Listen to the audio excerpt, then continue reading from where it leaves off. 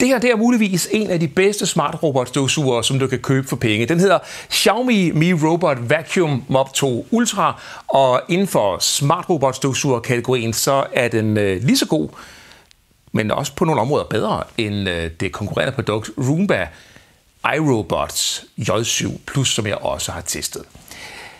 Den her robot, den har noget teknologi, noget laserteknologi, som øh, er med til at scanne, det er den her, der sidder oppe på toppen, den scanner simpelthen din bolig, når den øh, kører rundt, og så laver den et virtuelt kort inde i øh, appen til robotten, og kortet indeholder altså en digital kortlægning, så du kan se øh, de enkelte rum, hvor de ligger i forhold til hinanden.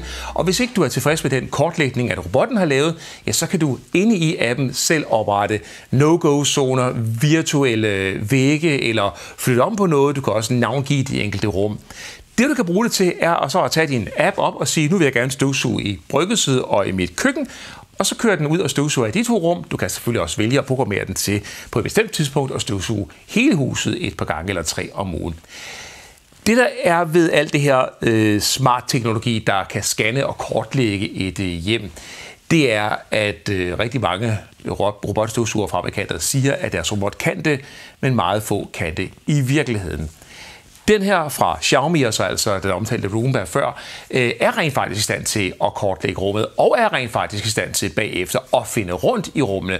For det er så det næste problem. Når først rummet er kortlagt, eller huset er kortlagt, ja, så kan den jo kunne finde rundt bagefter på det her virtuelle kort. Og der er altså set adskillige eksempler på robotter, som bare tosser rundt og simpelthen ikke ved, hvor det er, eller, eller hvor det skal hen. Det ved den her den ved lige nøjagtigt hele tiden, hvor den er. Den ved, hvor ladestationen er, og den ved, hvor den er på vej hen, og hvor den også øh, skal, skal hen bagefter. Og dernæst, ja, så støvsuger den ikke bare fuldstændig tilfældigt rundt. Den kører i, øh, i baner, så den øh, får det hele med. Og ja, den får rent faktisk rigtig meget med. Jeg er meget imponeret over øh, rengøringskvaliteten. Det er ikke sådan, at man øh, tænker, hvorfor har den ikke taget det, der ligger midt på gulvet? Det er væk. Naturligvis er der det her med øh, kanter og under øh, stolene og så videre, hvor robotten ikke kan komme. Øh, men der må du altså have et andet produkt øh, i ved hånden. En ting, der er med robotstøvsuger, er, at de ofte larmer helt vanvittigt.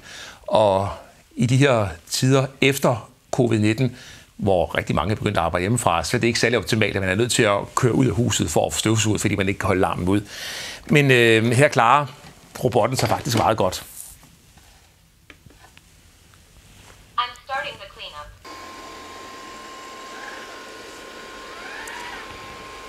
Som du måske kan høre, så larmer den ikke særlig meget. Og det synes jeg er rigtig fedt. Støjen er i allerhøjeste grad til at holde ud og så snakker den til dig hele tiden. Når den så er færdig med at støvsuge, så kører den så hjem i den her øh, opladet dok. Og så tømmer den øh, beholderen, som sidder hernede i øh, robotten, ind i en støvsugerpose, som sidder herinde i kassen. Og nu har jeg også prøvet et par stykker, eller tre eller fire af de her øh, tårne her fra konkurrente producenter. Øh, Xiaomi har en fordel, og det er, at de sender luft igennem. Vi kan lige prøve at tage den her, så ser Øh, de sender luft igennem, øh, øh, sugeluft igennem fra den ene ende her til den anden ende.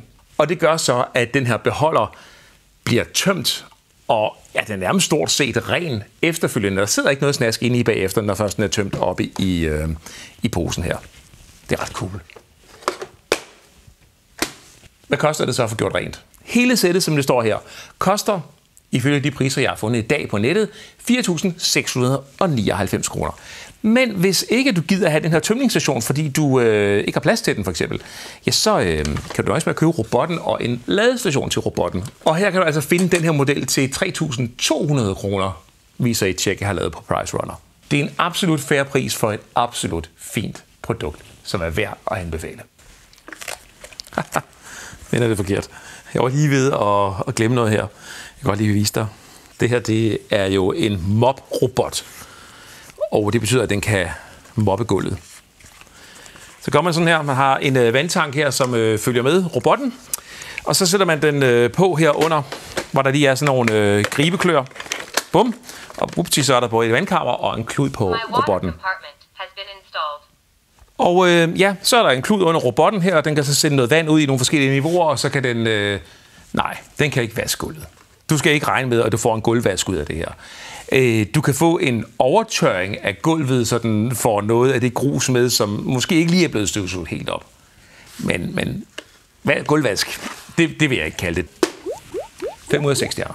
Der er en fuld anmeldelse af produktet her på meremobil.dk-anmeldelser, og jeg håber også, du øh, vil give videoen et like og subscribe til kanalen, hvis du synes, du fik noget ud af den her video. Tak fordi du så med.